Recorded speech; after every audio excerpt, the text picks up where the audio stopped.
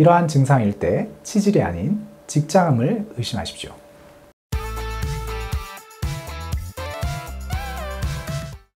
네, 안녕하세요. 순천향대학교 천안병원외과 강동현입니다.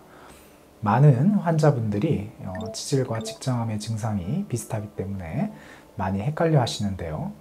치질은 항문 주위의 정맥이 팽창해 발생하는 질환으로 주로 장시간 앉아 있거나 변비 등으로 생겨나며 거의 초기부터 통증이나 출혈 등을 동반합니다. 반면에 직장암은 항문과 가장 가까운 대장의 마지막 부분인 직장에 생기는 암으로 유전적 요인이나 불균형 식단 등으로 생겨납니다. 하지만 초기 직장암은 대부분 증상이 없습니다. 그래서 증상이 나타날 땐 이미 암이 상당히 진행된 경우가 많죠.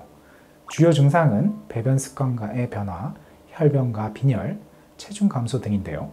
그러나 증상만으로는 치질이나 다른 양성 질환과 구별이 어렵기 때문에 반드시 이 전문가의 진료가 필요합니다.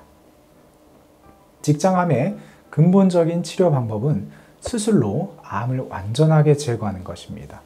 아울러 최대한 정상 항문으로 배변하도록 하고 성기능과 배뇨 기능을 보존하는 것도 매우 중요한 치료 목표입니다.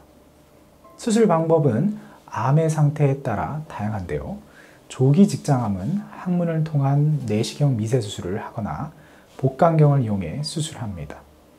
복부 수술에서도 복강경, 로봇을 이용한 미세 침습 수술을 통해 상처를 줄이고 입원 기간과 통증을 줄이고 있습니다. 환자분들께서 수술 후에 대변을 봐도 시원하지 않아요.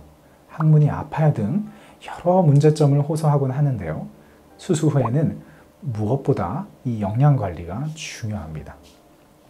약 1개월 정도는 식사를 저잔사식으로 해야 하는데요. 즉, 식이섬유를 줄여주는 식사를 말합니다. 대변의 부피를 최소화하고 음식물 찌꺼기가 최소한 장내에 남을 수 있도록 해주는 겁니다. 그 이후에는 수술 후 배변 양상의 변화와 잦은 금식으로 인한 섭취량 감소, 이 체중 감소 등으로 영양 상태가 나빠질 수 있기 때문에 충분한 이 영양 공급이 필요합니다. 먼저 하루 3끼 이상의 식사를 규칙적인 시간에 하는 것이 좋습니다.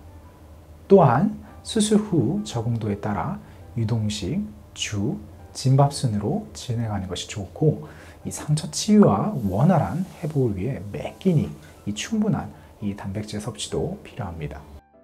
부드러운 살코기나 생선, 두부, 계란 등을 끼니마다 섭취하는 것이 좋습니다.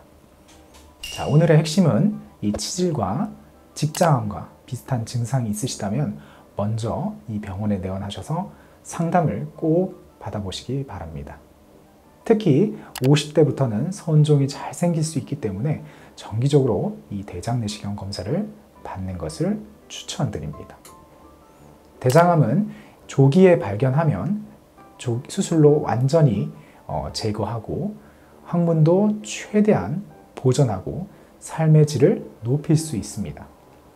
그러니 정기적인 검사와 전문가 상담으로 건강을 유지하시기 바랍니다.